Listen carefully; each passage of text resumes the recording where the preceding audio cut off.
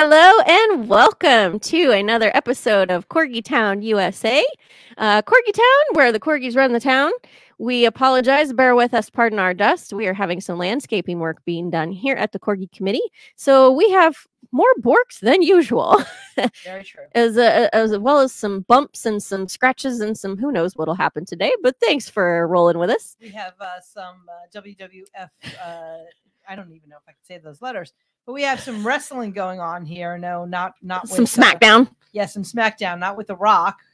Corgi SmackDown. Unfortunately. Oh, yes, man. Corgi SmackDown. Yeah. Well, we have, so I'm Candy, owner of Corgi Town USA. With me. I'm Catherine. I'm Kat, and uh, I am the uh, executive producer of the Corgi Town USA podcast. Yes, and in my lap is Chuckles, our spokes corg, tricolor corgi. We have our wrestling corgis, Mortimer and Digby, today, and they are knocking all kinds of things around. We may lose our camera or audio. We'll be right back if we do. Bear with us. But we also have Booger in studio as well as Hammer. So full house today. Full house. It's going to be pandemonium at its finest. Right. Stay tuned. So, for our guest today, uh, some of you audience may already be familiar with the Corgi Christmas Santa Exchange on Facebook. Right. It's never too early to start thinking about Christmas. Yeah, well, and it's it's charitable as well. So Right. a couple things that we love: supporting animals uh, and helping with animal causes, but and vet bills, but also Corgi swag. Corgi swag. Get by Corgi swag. So we're going to bring on uh, a nice lady named Josie who started this. Should we bring her on? Absolutely. Hi, Josie. Let's get her in here. Hey How are you, there, How Jess? you doing? Good. How are you? Good, thank you. Thank you for Excellent. having me on. Yeah, thank you for spending time with us today. And we are going to share on the screen for anyone watching. It's Facebook and it's Corgi Secret Secret Santa Gift Exchange. So if you're listening, you can go to Facebook, you can go to Corgi Secret Santa Gift Exchange. There you can find the swag and we're going to tell you a little bit more about it and uh, exactly what we're talking about here. So we are here with Josie. Josie, will you please tell us how you got started with this? Well, I'm one of those people who always try to figure out something new, try to think outside of the box, try to do something fun, but also raise some funds. So in 2013, I um, did an event. I'm also having a page which is supporting Corgis, and I did that event on the page. And we had some people signing up, and it actually was uh, really cool the first year, more a success than I thought it would be. So um, the whole idea is that you know you buy something for your dogs to exchange, not just for the humans, and that's kind of where I thought, well, let's do a little amount that you pay towards this, which will be a fundraiser for helping pay with vet bills. And um, the first two years was really events. It was not that uh, big, but then over the years it grew. Yeah, that's a lot of fun, a lot of work, a lot of fun. Yeah, but I, I like that. Have fun, raise funds. Yes. That's a good little byline That's a there. good It is. one. Well, how exciting! So you, so you've been growing this. You started, you said in 2013. Um, tell us about sign up numbers and about your growth. Um, I didn't really uh, keep records the first two years. What I could find was that I probably had roughly around 50 um, uh, animals. I have to say animals because it's not only corgis that can sign up. Of course, it's the people that sign up. Uh, the second year, probably a little bit more, but then the year after, I really started to uh, hang on to the numbers to see where we would go. And Yeah. it was always close or just over the 400, and a few years was a little bit more and that uh, then of course are the animals that have been signed up uh, people can have like um, you have five you said it in your introduction um, i have four corkies running around here so one person but four corkies um, so that makes That's my life. Yeah. yes. Yeah. Wow, that's that's exponential growth. That is really Yeah. exciting. and i really hope that this year because it's the 10th year it's kind of special that maybe we can make it over 500 Ooh, that'll be be fun. That'll be fun. And that's 500 people that have signed up, each one of them having at least one pet. no that's 500 animals signed up 500 animals that sign up. So, we roughly okay. have just over 200 probably in in people signing up okay. Yeah, my my cat would probably just go on my computer and sign up himself. I want stuff. I want stuff. Yeah. Don't leave me out. She says, "Where's my podcast?" Have More different animals anyway, so and you want to include everybody in your household. Right. Okay. Well, we're Corgi Town, USA, but they're all honorary corgis. We love all the little fur children. That's right. Yeah. So that's I mean that's really exciting. I love that you're that you're growing this and there are some costs to sign up, right? Like what's the explain to us this process because what we want to do, dear listener, dear viewer, is try to drive you to this page if you are on Facebook, not everybody's on Facebook and we realize that, but if you're on Facebook, uh, go to this page and sign up for your animals and uh, we'll kind of gonna di- dive into exactly what that means. So can you tell us uh tell us what the costs are? Let's start there. Yeah. Okay. So um, the costs are roughly like four or five dollars per uh, animal. So if um, like in your household you said you have five, in my have four. So if I would sign up all four, it will be twenty dollars. Or if I would do four dollars, it will be sixteen. Now um, we all know that not everybody has a lot of uh, financial means. So if you decide to sign up your household as a group, so it's just one pay. That's okay too, which means you enter it as one. And then I'll try to hook you up with somebody else who has a group too and enter as one. Because I know that not everybody has the financial means. Now, the sign up costs, the four or five dollars, and uh, we kind of it over the last years, um, is really going towards uh, paying for vet bills. And especially Bandits Band Aid, a nonprofit organization and then after we have everything said and done uh, we'll send over the money to the uh, to the organization there so they can help pay for vet bills and that's just the sign up costs.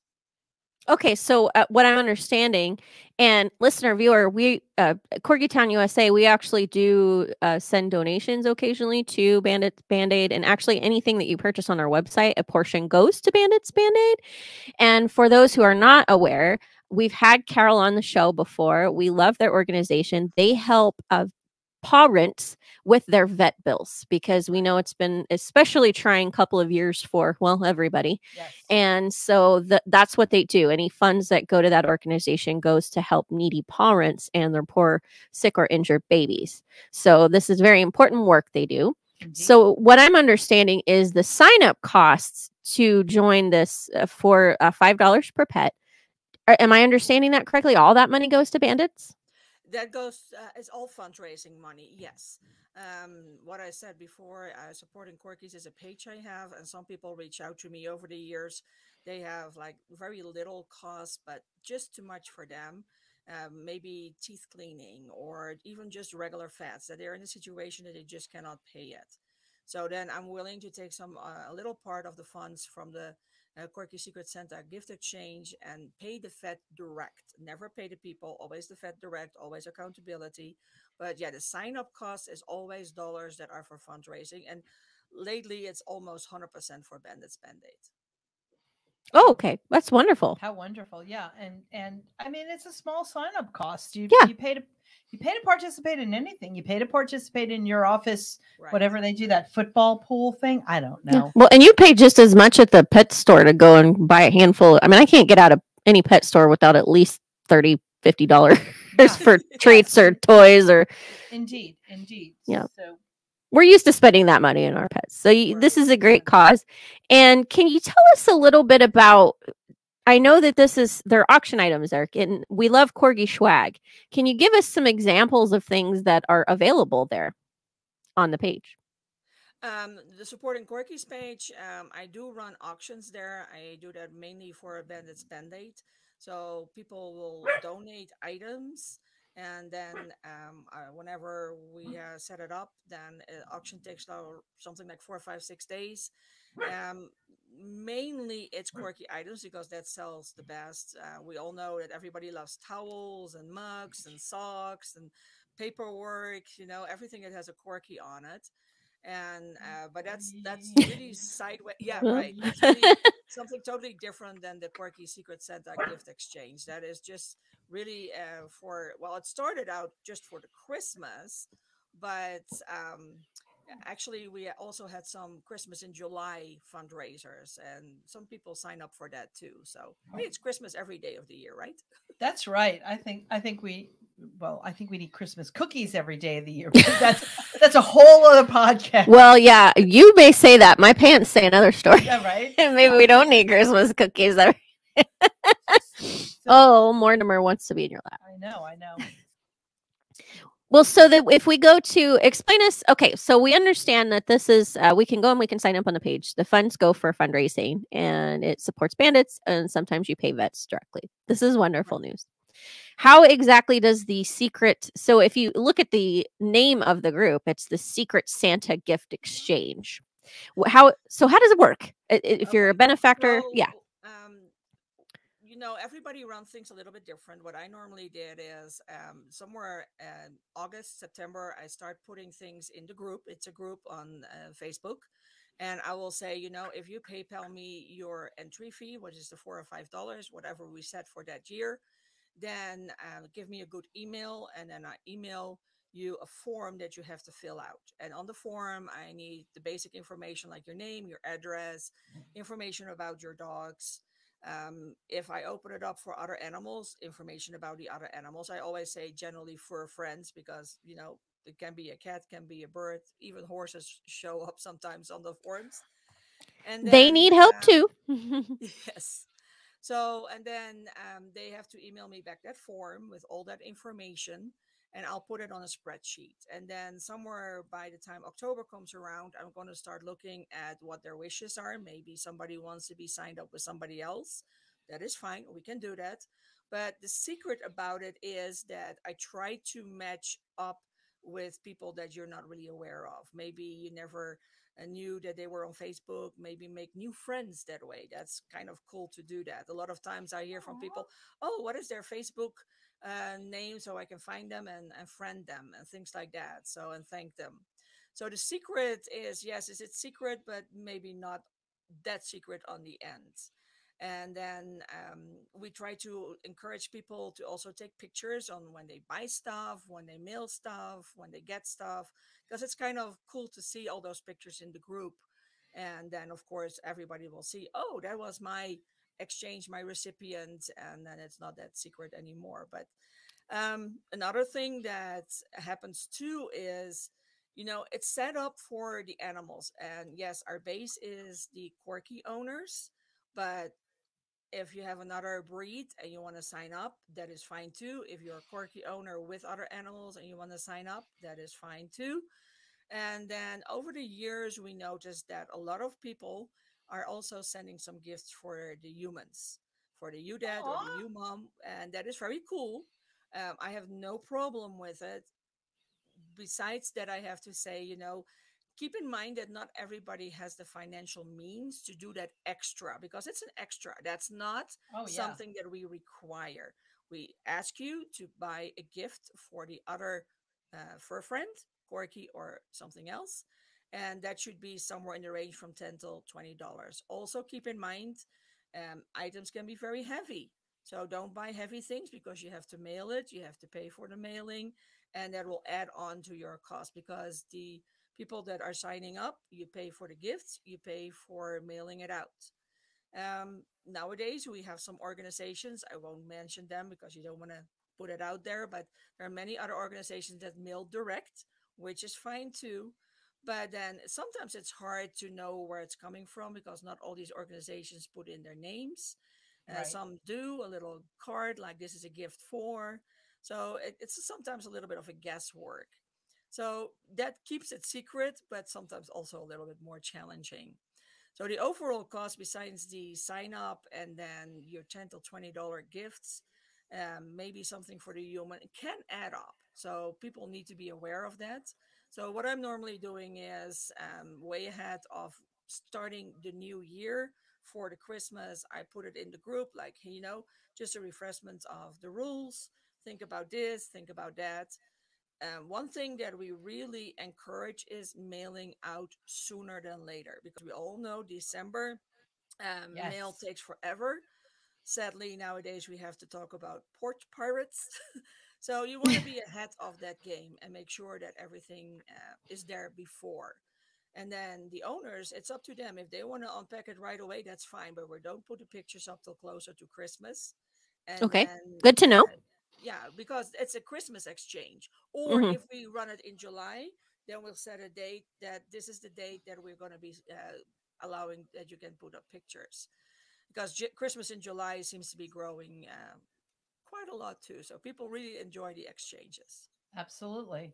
Well, and one thing I, you know, it- we do these. I've done before. Been what's the word I'm trying to say? I've participated before in fundraisers and things like that around the holidays. And one thing that does have tend to happen in around the holidays is people can get giving fatigue because s- there are so many charitable organizations and everybody needs uh, more money during the holidays. So you'll see quite a bit of drives for fundraisers. And so I think Christmas in July is a great way to offset that because you're less likely to have giving fatigue during the holidays and then everyone else has their own additional costs during that time of year which are less prevalent during that time. Yeah, that's Yeah, that's a and great fatigue idea. is something that I kind of want to address for one second because um, I did it for several years, and I will, you know, it's it's a lot of checking and rechecking and making sure. And sometimes people are really coming back on time with, yes, I got it. Yes, I will mail it off. Yes, it's mailed off. This is the tracking number. Great. But after a few years, I was actually burned out. So I put it out there in the group if anybody would be interested to help me. And I'm so thankful that Nicole Engel stepped up and she did it for the last two years. Yay! And She Yay. still will do events and she's I think she's maybe gonna do the July Christmas one this year. So I'm very, very thankful. And then we'll have the Christmas one in December again. And we'll see what happens uh, uh, in the future. But I'm actually amazed when I realized last year, oh my God, next year is the 10th year we're doing this. But I do need to let you guys know that Nicole worked very hard over the last two years and she raised so many funds for Bandits Band Aid. And I'm so thankful for that. How wonderful. And I'm sure, uh, dear listener, dear viewer, if this is something that excites you, uh, we'll have all the contact information because you can get burned out when you're volunteering. You can get burned out when you have a paid job, but you certainly can get burned out when you're volunteering. So if this sounds like it's right up your alley, Josie would love to hear from you. Sure, Yeah. Let us know. And we always can use more people. So absolutely. Well, and we're thankful for what Nicole's been doing and what you have been doing, and we we always need uh, caring people like you in the community to do these types of things. So we're very excited for what you're doing and to have you here to tell us about how to help. So, can you explain what your and you you, kind of told us, you know, and you said, "Man, it's a lot of work." And now that I've heard you describe what all entails, my goodness, that is That's a lot, of work. Yeah. Yes. we're we're tired. We need a nap now.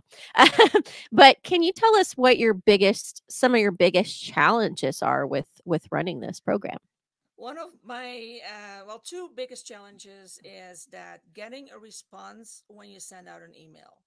You know, you send out an email with, okay, this is your recipient, and we would like to hear back from you. We would like to get the tracking number so that we know it's been mailed out. Um, most people do, absolutely.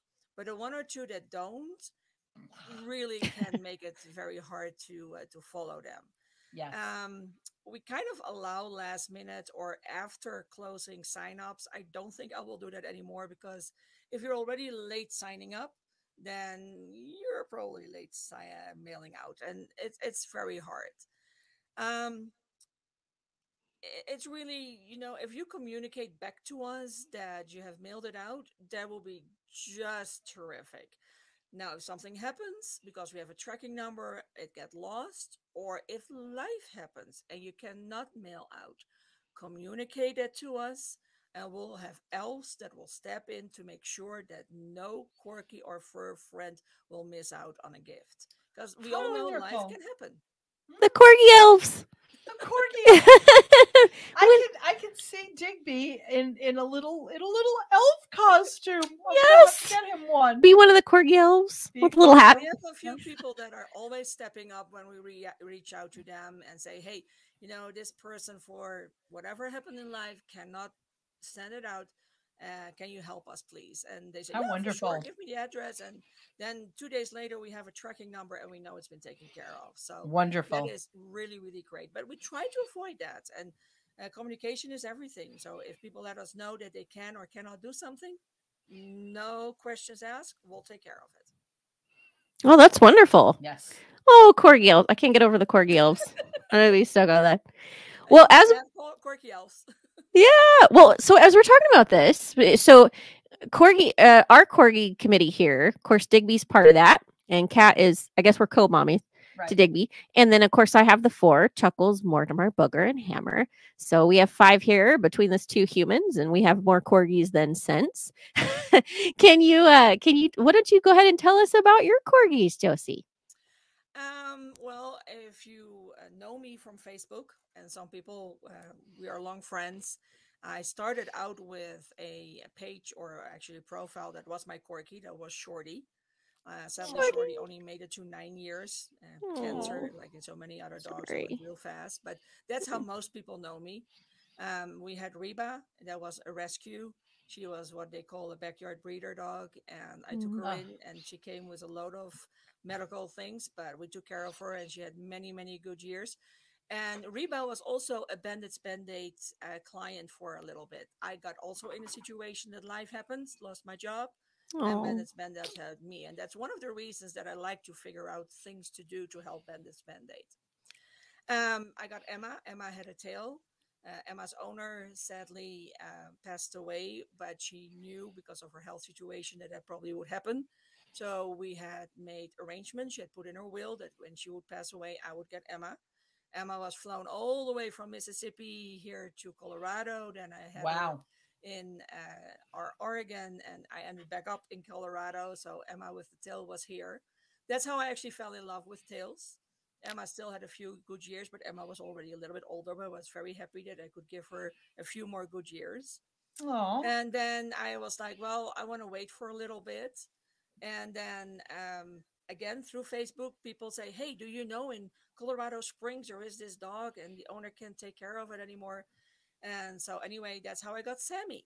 Sammy is a rehome corky. Um, uh, very sad story. The husband sadly passed away, and the wife could not take care of him. So I said, okay. So we drove out there, we met him, and Sammy came home with us. No. Now um, we live. I live here with uh, Michelle, and Michelle had a puppy, te- uh, Fluffy Teddy. So we have the Fluffy Teddy in our household, and that's Michelle's. And then um, I came across uh, Ginger, and Ginger is an older lady, and she has actually what they call uh, down pasterns. So she doesn't really have risks. So she kind of walks on her elbows oh, and the owner could not take care of her anymore. It was an older lady, so she was up for um, rescue or rehome uh, through a rescue organization, and they had a hard time to find somebody who kind of knew what to do. And with Reba, I had a lot of um, no knowledge about older corgis and medical situations. So anyway, long story short, I drove to Texas. And Reba, uh, sorry, Ginger came in my arms and she came home with me, and she's Aw. living out her life here with me. Now, because of Emma with the tail, um, I always had this I kind of a, a weak spot for a Pem with a tail. So I put some feelers out last year and I said, you know, I really want to give myself a birthday present. So this year, I don't mind. I turned 60, so I gave myself a birthday present. And in a few weeks, I have Kaylee, and Kaylee is now 11 years, and Kaylee is a Pem with a tail. So that makes Aw. Teddy the Fluffy, Sammy is a Tam, and then we have Ginger, she's a Try, and then we have Kaylee, and she's now a little puppy. So and so I got four to sign up for the Corgi Secret Santa gift exchange. How wonderful. fill in those slots. Slots. and I love that you're right with about the Pembrokes with the tails. They're really fluffy. They're like squirrel tails. I know they're so cool. And well, that's a totally different situation talking about tails, so I'm gonna leave that one alone. but uh, We could talk about corgi tails all day. We I was visiting a friend last night. She also has corgi. She's a corgi mix and then two other corgis. And she I was telling her last night as we're visiting, hers were running around and playing with a toy and she had this coffee table there I, and i told her i said how do people that have corgis with tails manage because i've thought about that like it seems like everything would be knocked off the cor- the No. coffee table and the If you remember, my honorary corgi, Wigan, the uh, Australian cattle dog, also known as a blue heeler, has a very big fluffy tail, and he is um, he is happy to shake that tail around for you and let you know that you know he's and he doesn't knock anything over really. i just feel like it would be pandemonium although i have four here Yeah, that would be day. pandemonium. There was never an issue with Emma. The only thing that happened when we had Emma, and she was of course an older lady, and then we got Teddy the puppy. So Teddy the puppy loved to hang on Emma's tail outside. Yes, yes. That's so cute anyway, yeah. So um, I would say for the people who are interested in the Corgi Secret Santa gift exchange, stay tuned. Coming um, probably May, we'll start doing some um, notifications in the group. Um, what I said, Nicole has indicated that she's probably running the Secret Santa in July, so that will be great. And then come August, September, I will start putting some things in place again, and we'll do the one for the Christmas exchange. And yeah, 10 years. I'm curious where we're going. 11, That's 15, wonderful. 20. but it doesn't matter when you sign up Well, we, we Right? open up the signing at a certain moment. So we'll Okay. post that in the group when the signing Okay. is open for which event. Otherwise, we can't keep track of what's happening. So uh, we'll make sure that everybody knows when the July one is open up for sign up and when the one for the, the Christmas will open up for sign up. Yeah. Right. Okay. You want to keep those things very clear. Otherwise, it, it sounds like pandemonium as it is. right trying to control the chaos yeah, control the chaos we will we'll have rules and after this i absolutely can make some posts in the group because people probably will go over there just to clarify a few things uh, it's a lot of information uh, but it's it's really cool it's really nice what i love about it is just christmas day and after look at the pictures in the group and all these quirkies and all these other fur friends and all the presents and that's just cool to see Yes, Yeah. very much so. that How is adorable. Well, so we do encourage signups when the time is appropriate. Please stay tuned, but definitely follow Facebook. It's the Corgi Secret Santa Gift Exchange. And we encourage you to go and you know check it out noodle around in there see what's see what's available and uh, when they have their signups do their signups it's five dollars per pet and it's all charitable funds so you're doing a wonderful thing for animals and their parents And you will and you will meet new friends. Yes, you will meet new yes, friends. And yes. we're corgi people. We are social. We like our friends. That's right. Well, Josie, thank you so much for sharing about your program. And uh, hopefully, we can help you and encourage everyone to sign up and get those funds going and take care of some some fur kids. Thank you very much for having me on, and I will absolutely send you messages when what is happening. Perfect. Thank you so much, Josie. Have a great rest of your night. You too. Take care. Thank Bye-bye. you. Bye. Bye. Corgi Secret Santa Gift Exchange. That is fun. It is fun. I mean, how can you not love? I mean, it's a. I love a Secret Santa exchange anyway. And and when you're doing it with your pets, I think it's it's more fun uh, because they you know here here's some snacks. Yeah. Here's some snackles. What little corgi or other Tacos. what other corgi or fur pet does not like snackles? Well, certainly corgis. yes, they love their schmackos. they do. and it's a great way to meet other other fur Corgi folks, corgi folks, um, pet parents, pet parents. Yeah. The fur community. Yes. Yeah. Well, again, we encourage you go to Facebook and it's in the groups Corgi Secret Santa Gift Exchange. There will be posts on when the sign up happens. $5 per pet. Do great work. We encourage you to sign up. We certainly will. And thank you so much for joining us every Thursday here on Corgi Town, USA. We're here for you, all things Corgi, pet lifestyle, Borks included, no extra charge. That's right. So, Candy Kat, Chuckles, Mortimer, Digby, Booger, Hammer, signing off. Signing off. Have a great night. Bye.